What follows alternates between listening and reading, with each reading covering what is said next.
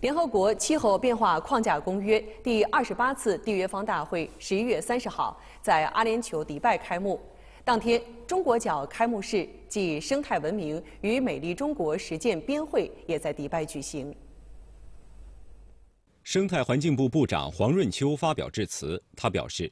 中国政府始终高度重视生态文明建设，牢固树立和践行“绿水青山就是金山银山”的理念，坚定不移走生态优先、绿色发展之路。希望本次缔约方大会坚定维护多边主义，充分响应发展中国家诉求，推动发达国家展现必要灵活性，达成多边解决方案，推动巴黎协定全面有效实施。中国气候变化事务特使谢振华在致辞中表示。中国经济社会发展已走上全面绿色转型轨道，未来中方将继续以务实的行动和南南南北合作举措，为应对全球气候危机、实现可持续发展、建设清洁美丽的世界做出更大贡献。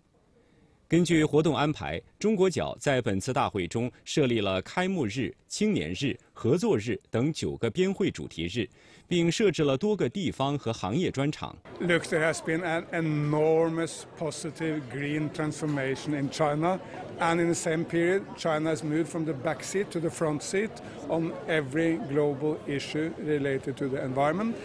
And Chinese companies are capturing markets for green products everywhere. But everyone can learn from China.